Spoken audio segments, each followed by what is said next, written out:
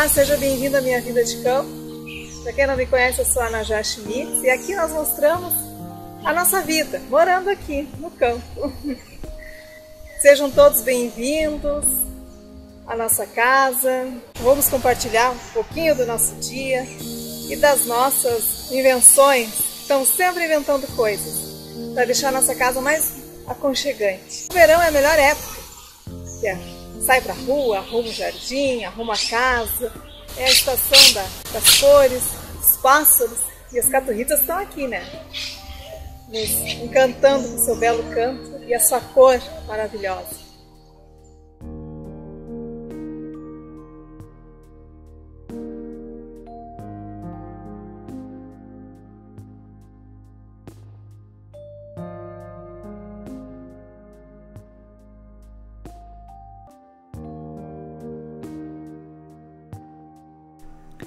Se chover amanhã no meu caminho, vou aproveitar e plantar flores, comer bolinha de chuva. Mas se começar a ventar, vou empinar uma pandorga, e se ventar muito, vou colocar para secar as minhas lágrimas.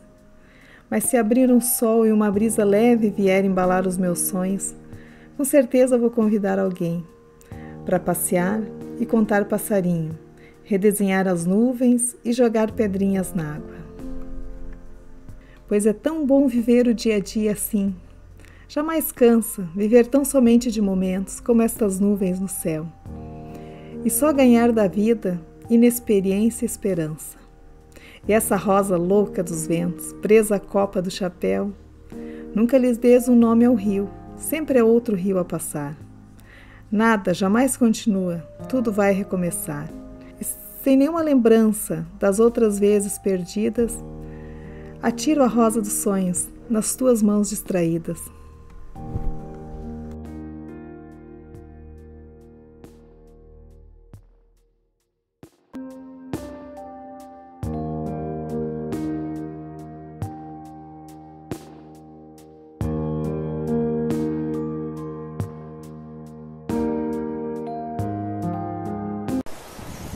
Quando nós andamos nas estradas, a gente vê essas palhas, sempre quis parar para pegar. E agora, andando aqui em casa, achei que coisas lindas, fazendo os meus arranjos, dois estilos.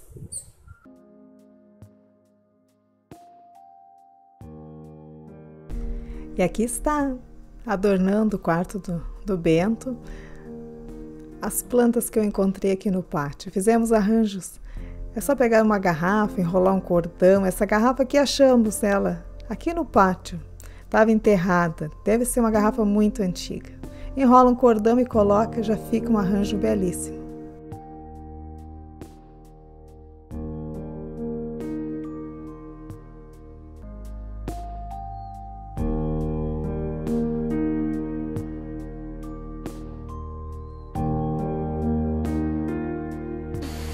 Aqui está na minha horta. Essa aqui é a minha a nossa horta dos meus chás. Esse chá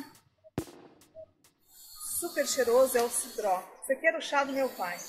Nós usamos muito no chimarrão. Ele e o poejo. Tem vários chás aqui. Tem esse que é bom para o fígado, que é o bolo. Tem o poejo.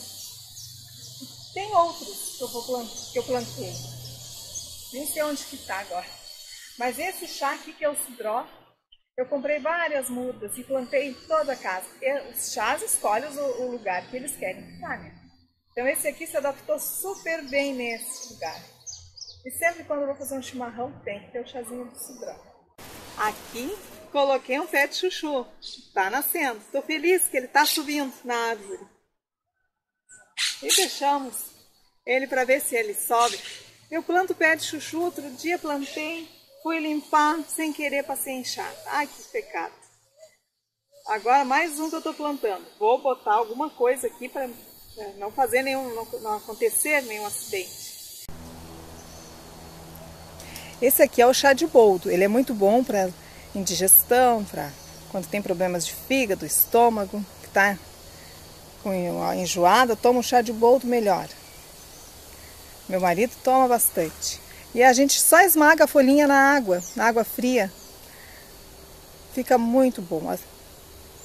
Esse outro é a minha paixão, meu preferido. Eu adoro esse chá no chimarrão. É o chá de cidró. A gente chama de cidró, deve ter outro nome. Que alguém aí saiba, diga. Que a gente conhece assim mais os, os nomes regionais e que todo mundo já vem de pai para filho, a gente nunca estuda para ver realmente o nome correto. Esse chá é maravilhoso. Para quem tem retenção de líquido, pressão alta, tu coloca no chimarrão, ele fica dá um sabor no chimarrão muito bom.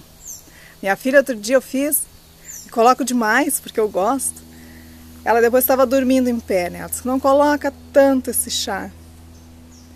E o outro chá, ah, aqui tem mais o capim cidró, que já está até abafado pelo poejo. E é o, é, esse aqui é o poejo. Ele tem um perfume, olha só, um perfume assim maravilhoso. Também gosto no chimarrão. Às vezes eu coloco raminhos na casa, fica maravilhoso. E o baita pé de boldo, né? Eu sempre vou pegando galhos, vou quebrando, enterrando. E ele espalho pela casa. Continuando a minha o meu tour pelos meus chás, Olha só esse aqui. Esse aqui é muito bom. A gente chama de penicilina. Às vezes vem os vizinhos levam para fazer sabão, colocam no, no, sabão de glicerina e ele dá um perfume e diz que ele e ainda é medicinal. Eu tomo ele quando eu tô com alguma infecção. Que aqui a, a minha mãe dizia era dor nas urinas. Não, era dor nos rins, né? Os antigos falavam dor nas urinas. Ele é muito bom para quem tem problema na bexiga, friagem. O meu filho teve um problema no dente, inchou, eu fiz chá, ele lavou, desinchou rapidamente. E este que é que a gente usa para gripe. Aqui a gente faz um chá de limão e mel, folhas de guaco de poejo. Nós tomamos aquilo, acaba com todo o resfriado. Esse chá de guaco eu tenho pego as folhas e colocado dentro de casa. Vocês não imaginam o perfume que dá na casa. E ele tá subindo no pé de, laranja, de limão aqui, né? Tá vindo com força total. E o pezinho de limão, esse é para suco, nós tomamos muito, e com mel, chá de mel e limão. Coloca o, o limão, o mel, já tá ótimo. Agora nessas tempos de gripe, de resfriado. Ele é ótimo.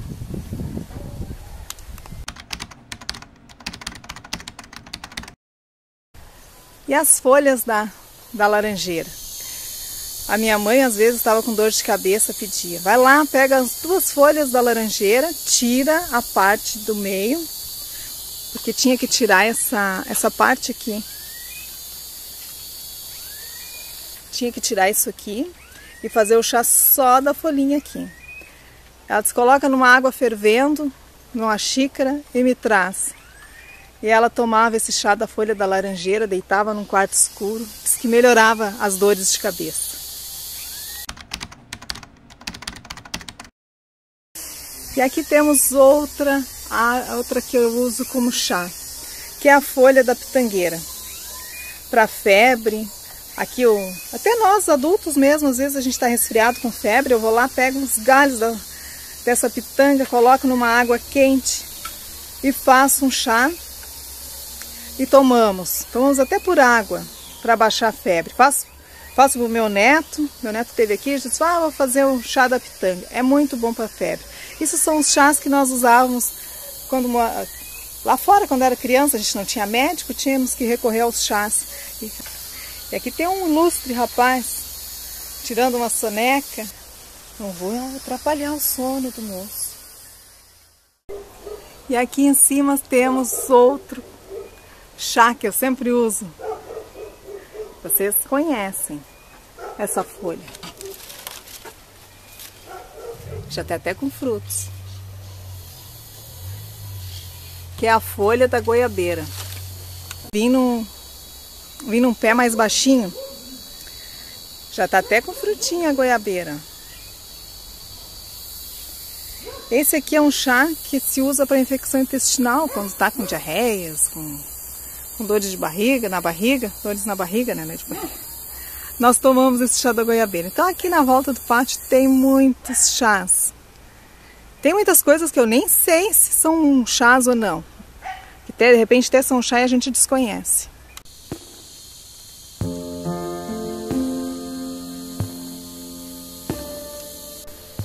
Eu vim aqui no campo, que eu não poderia deixar de mostrar um chá. Aprendi a ele com meu sogro e minha sogra. Eles contam que uma pessoa comeu uma vez demais num acampamento que eles estavam fazendo e alguém indicou esse chá que era bom para congestão. Acho que é congestão que se diz. Esse chá foi, foi e é o nosso salvador aqui para nós que moramos no campo. Às vezes a gente não tem um remédio para tomar, não tem como ir ao médico, está distante. Esse aqui é a vassoura vermelha. Eu vou procurar o nome científico dela. Eu não sei se alguém de vocês conhece, me ajude aí, por favor, né? Esse chá é maravilhoso. Aqui eu sempre sou muito gulosa, muito esganada e como demais. Sempre passo mal, ataque de fígado. Eu houve uma época, antes de eu descobrir que eu tinha intolerância à lactose, eu passava muito mal do fígado. E aí descobrimos. Eu descobri né, que ela me fazia muito bem e me, me melhorava os sintomas de enjoos, dor de cabeça, náuseas. Pega uma água fervendo, coloca numa xícara e umas folhas desse chá de vassoura vermelha. Eu tomo, para mim é melhor que qualquer remédio. Eu sou muito fã dos chás. Aprendi né, com a minha mãe, a minha mãe não tinha nada. Eu tenho colesterol e ela não tinha. Graças ao chá. Depois do almoço, ela sempre tomava algum chá. E aqui está o meu pezinho de louro, plantado pela minha mãe. Esse louro, uma vez visitando a minha irmã em Santa Catarina, a nega, e eu fiquei meio ruim do estômago, uma indigestão, comi demais como sempre, né? Ela falou: pega cinco folhinhas de louro e faz um chá. Tomei, melhorei. Além de temperar o feijão, deixar a comida maravilhosa, ele ainda é bom para qualquer indisposição estomacal. Fica e o chá dele é muito saboroso. Já vou levar uns galinhos para decorar a casa e quando precisar colocar no feijão. E olha a minha alegria. Aqui, esse aqui era o nosso lago que nós tínhamos aqui em casa. Foi feito com uma máquina, o Edson fez um projeto todo na Emater e olha o que aconteceu, secou. Aqui temos passado por uma seca terrível. E olha a minha alegria que eu encontrei dentro do nosso lago que está nascendo. Sabe o que, que é isso aqui? Um pé de marcela. Eu digo Marcela, mas acho que é Marcela. Não sei qual é o correto. Diz que as duas formas de, de dizer são corretas. Vou ter chazinho aqui da folha, da flor da Marcela.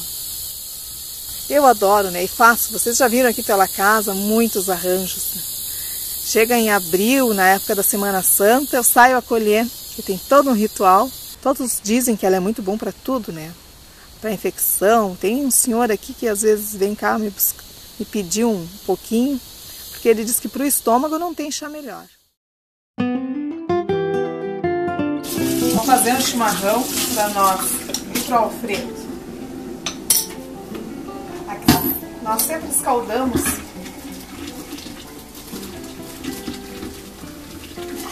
com água fervendo a, a cuia. Esse aqui é feita no porongo. O porongo sempre tinha um mofinho, então para acabar com o mofo, nós escaldamos. E olha só, ela fica fervendo ali dentro.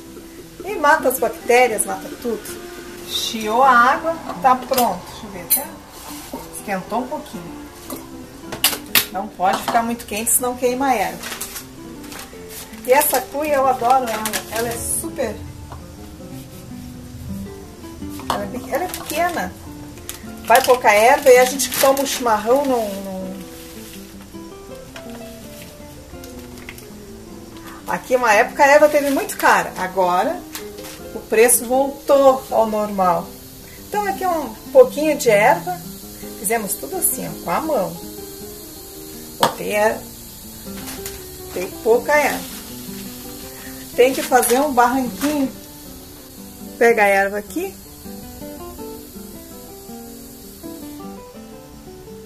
É isso aqui, ó. Aí aqui vamos colocando a água. E aí tem que esperar a erva pegar um pouquinho dessa água, que aí fica firmezinho, e aí já começamos a cevar o mate. Aí ele fica aqui cevando. Eu sou exagerado, quando eu coloco, eu coloco bastante para dar um sabor, né? E aqui tá o chá do poejo e do cidró. E aqui fica indo o poejo para decorar decorar o chimarrão. E aqui tá pronto o nosso chimarrão. Agora esperar cevar um pouco, curtir e se deliciar.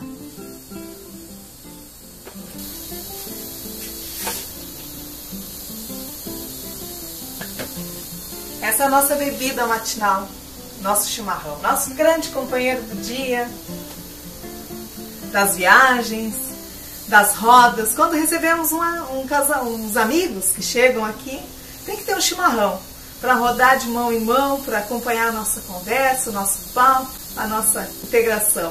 E aqui para nós gaúchos é um grande companheiro. E ele também é bom para a nossa saúde, como essa erva é um chá, essa erva mate, e ela combate os radicais livres, acalma um pouco com as toxinas que nós ingerimos no decorrer do dia a dia.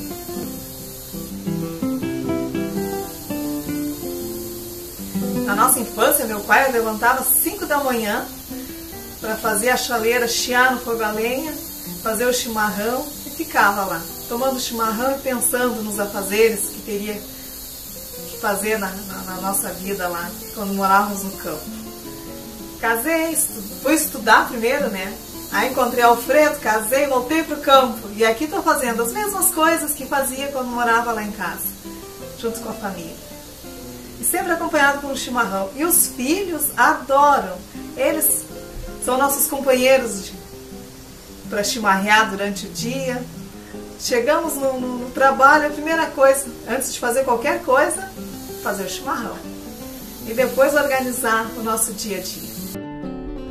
Na mão levo o chimarrão e mil segredos trago no coração. O chimarrão torna meus dias mais doces, menos corridos, com mais compreensão e mais paz. Eu quero agradecer aos comentários, às inscrições. Sejam todos sempre bem-vindos à nossa vida no campo. Não esquece de compartilhar com os amigos que no 5000K vai ter duas tábuas que o Alfredo presenteou para fazer uma, um sorteio. Em agradecimento, eu queria dar uma para cada um, né? Vocês, porque vocês deixam comentários maravilhosos, estão sempre dando dicas. E a, as mensagens que vocês deixam são muito inspiradoras, incentivam nós a sempre querer melhorar a nossa chácara para compartilhar com vocês. Ah, vou mostrar isso aqui para eles, eles vão gostar. Então, muito obrigado pelo carinho. E até a próxima, se Deus quiser.